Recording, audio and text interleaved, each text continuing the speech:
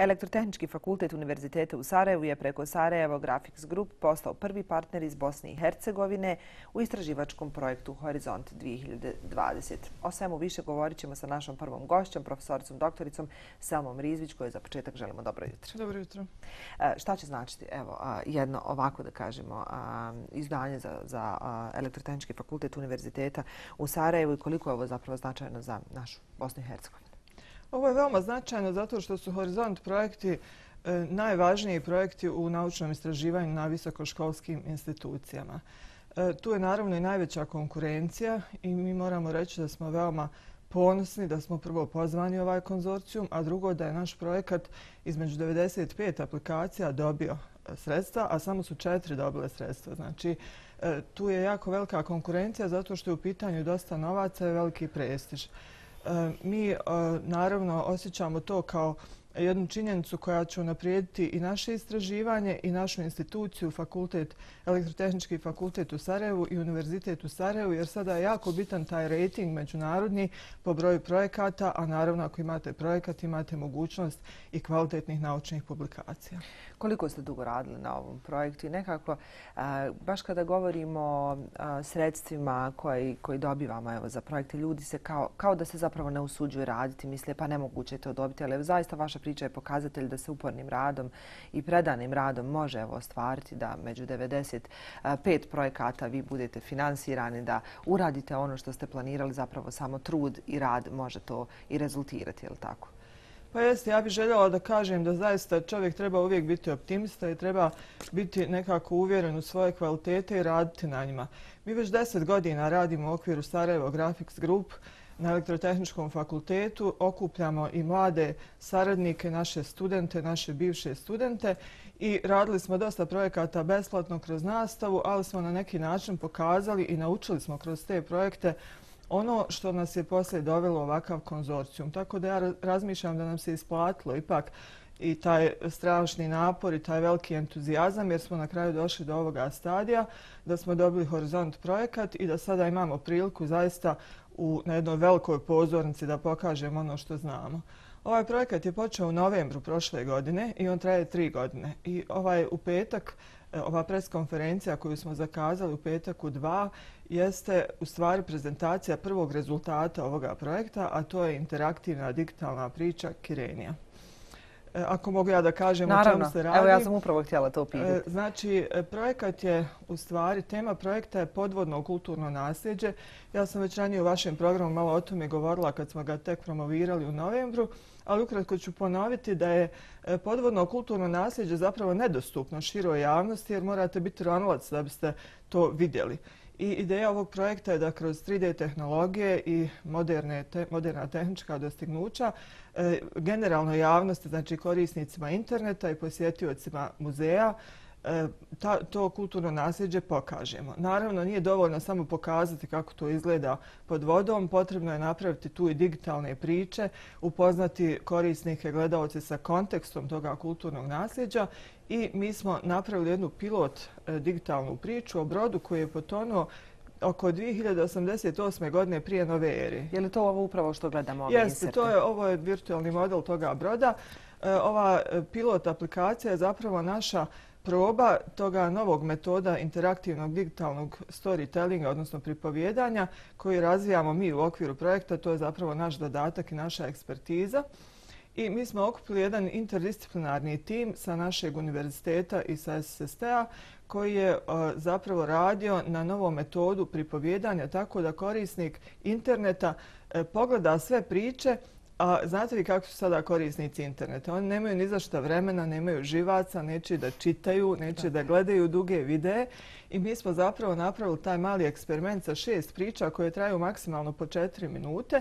I na kraju stvari motivacija za korisnika da to sve pogleda jeste da se može ukrcati na virtualni model broda i njime zaploviti i onda smo pravimo sada korisničku studiju da vidimo kako će korisnici reagovati, da li će zaista to njih motivirati da pogledaju sve priče i da saznaju o tome potonulom brodu i kako će oni reagovati da bismo mogli u budućim aplikacijama projekta unaprijediti tu metodologiju. Moramo reći zaista i primijetiti zapravo da ste svestrani profesor Riziće. Nekoliko puta smo razgovarali o tome. Ja mislim da nema dijela svijeta skoro gdje niste jel, tako ronili nešto radili. Mislim da smo čak i pričali jednom projektu u Italiji koji ste radili, je tako? Pa jeste, mi smo radili prije ovoga jedan veliki projekat e, mreža izvrsnosti. E, to, taj se projekat zvao e, transnacionalna mreža virtualnih muzeja. Italijani su bili koordinatori, najviše aktivnosti je bilo u Italiji, a ovaj, imali smo jednu veliku izložbu koja je bila u Rimu, Sarajevu, Amsterdamu i Aleksandriji. Tako da jeste, eto, ovaj, sticajem okolnosti i e, povodom tih nekih naših kvalifikacija su nas pozvali bili u taj konzorcijum i tu smo puno naučili i sada i to znanje primjenjujemo u ovom novom projektu. Postali ste daleko poznati, našu zemlju predstavljate u najboljem svjetlu i skoro da takve stvari više ne mogu proći evo, bez stručnjaka iz ove oblasti iz glavnog grada Bosne i Hercegovine.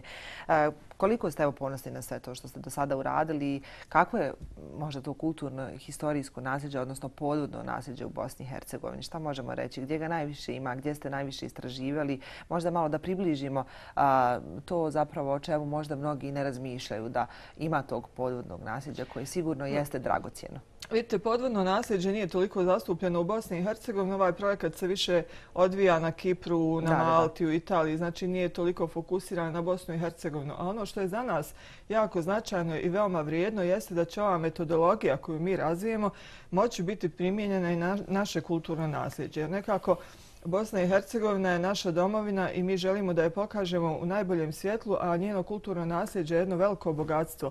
Mi ovdje imamo e, susret različitih kultura, religija, svaka od njih je ostavila svoje kulturno nasljeđe.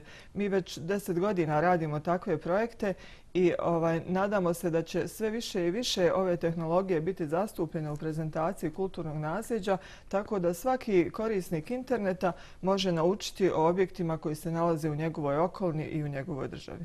Grafički dizajn pruža zaista mnogo mogućnosti, je li tako? Nekako u posljednje vrijeme se mnogi odlučuju upravo za, za taj IT sektor, za taj grafički dizajn, e, nekako kao da nikada nije doživljavao veću ekspanziju. Pa vidite, vizualni jezik je zastupljen u svim sferama života. E, ono što ja želim ovdje istaći jeste da su ove e, tehnologije i ove metodologije produkt multidisciplinarnog tima. Znate, sada se već gube granice između, između disciplina. Mi vidimo i u našoj struci u TV, design, motion graphicsu, da već nije dovoljno da ste vi samo grafički dizajner. Vi morate znati i montaž, morate znati i o zvuku. Naravno, zato ove projekte rade timovi stručnjaka i u stvari ono na što sam najviše ponosna jeste taj naš interdisciplinarni tim koji smo sastavili od profesora sa psihologije, komunikologije, likovne akademije, filmske akademije, elektrotehnike. Imamo stručnjaka za human computer interaction i u stvari tek takav interdisciplinarni pristup vam daje dobar rezultat zato što svaki od tih profesionalaca u svom domenu ugradi dio svoje ekspertize u taj projekat i taj proizvod i onda jedino je on e, dovoljno kvalitetan da se dopadne korisnicima interneta. I sve ovo otvara nam e, zaista mnoge e, zapravo mogućnosti da mnoge edukativne oblasti budu postavljene na interaktivne platforme. To zapravo pretpostavljamo jeste neki konačni cilj, da sve to bude dostupno široj javnosti. Jeste i cilj je da se ova metodologija koristi u drugim sferama edukacije. Zamislite vi sada jednog srednjoškolca koji ima ovakvu aplikaciju da nauči o nekoj istorijskoj lekciji koja njemu dosadna da je čita ne kažem da treba sada napustiti knjige, ali moramo, moramo prati jez, pratiti jezik kojim se govori. Mi sad govorimo već svi jezikom interneta i taj jezik nije više samo suhi tekst. Kad bi se ove metodologije primijenili u drugim sferama znanja, sigurno bi to e, ponuđeno bilo atraktivnije za e, konzumenta i sigurno bi i studenti i učenici recimo srednjih i osnovnih škola mogli na jedan kvalitetniji način da saznaju onome što inače uče iz knjiga. Kako je sve osmišljeno do kraja? Rekli ste projekat će trajati tri godine. Šta je ono što će za te tri godine zapravo u potpunosti biti odrađeno? E, projekat e, na svom kraju bi trebao da ponudi dvije ozbiljne igre, znači edukativne igre. Jedna je vezana za trgovinu i plovidbu na Mediteranu u antičko doba, a druga je vezana za podvodna arheološka iskopavanja gdje ćemo simulirati putem 3D tehnologija ronjenje i podvodnu, e, podvodnu arheologiju. Zatim imamo 3D puzzles, to je jedna veoma zanimljiva jedna vrsta igre koju ćemo napraviti tako da e, korisnik ima neke dijelove objekata koje može 3D isprintati i sastaviti. 3D print postaje sve popularniji čak i u našoj zemlji i onda vi recimo isprintate sebi dijelove broda i sastavite maketu. I na taj način i naučite o tom brodu jer će naravno tu biti inkorporirane i priče. Onda ćemo imati e, e, posjete na tri podvodne lokacije, ali putem interneta. Znači vi ćete moći ili putem head-mounted displaya ili na svom običnom monitoru pogledati kako izgledaju neki podvodni sajtovi. Jedan od njih je nacionalni arheološki park u Italiji koji se zove Bahia, gdje je jedan cijeli grad potonuo i on se nalazi pod morem, ali su dole ostaci vila, ulica, raznih spomenika. Sve ste vi to vidjeli? Pa nisam još vidjela, ali to su znači uh -huh. neki budući dijelovi projekta ove naredne dvije godine i mi ćemo onda svoja znanja e, svi udružiti da bismo pokazali tu taj grad e, ljudima koji ne mogu da zarone, znači koji se nalaze na suhom. A Čime ste najviše fascinirani u smislu upravo toga gdje ste ronili? Šta je ono što je do sada u dosadašnjoj vašoj, dosadašnjem iskustvu na vas ostavilo najveći utjecak? Pa vidite, ja sam najbolji primjer e, zašto je projekat važan jer ja nisam ronilac. Znači, ja nisam nikad zaronila i strašno se toga bojim, nemam uopće namjer da ronim. Ali ovaj, upravo kolege koji su ronioci i koji imaju ta iskustva sada pokušavaju da ta svoje iskustva dočaraju ljudima koji ne rone i ja mogu biti njihov prvi test, znači da, ovaj, da na, na meni to isprobaju. I eto, znači, bili smo na Kipru na, na kick-off meetingu projekta. E, planiramo još jedan sastanak na Kipru u novembru e, ove godine, a vjerovatno ćemo ići na teren na te sajtove gdje se nalaze lokacije koje ćemo obrađivati da vidimo E, kako ćemo u tim muzejima, jer u tim muzejima uz lokacije će biti izložen ovaj naš sadržaj na nekim isto tako veoma savremenim modernim displejima, pa ćemo vjerovatno otići tamo da vidimo kako ćemo to uraditi na najbolji način i ne možete nikako pobijediti taj strah, ali ipak se nećete odlučiti pa, ne planiram zaista. Dovoljno ovo što vidite i to e, zapravo dalje e, naravno prenositi na sve one koji isto tako nemaju priliku roniti, ali sigurno to mogu doživjeti kao što ste i vi uradili. Hvala vam puno što ste bili sa nama ovoga jutra. Možda je još samo za kraj da još jednom najavimo je tako sutrašnji događaj jeste sutra u 14 sati na elektrotehničkom fakultetu. Cijeli interdisciplinarni tim projekta će biti na raspolaganju medijima za pitanja i napravit ćemo prezentaciju par priča koje smo uradili u okviru ovog pilot projekta. Profesor Serizić, mnogo vam hvala što ste bili sa nama ovoga jutra. Hvala vam najljepše.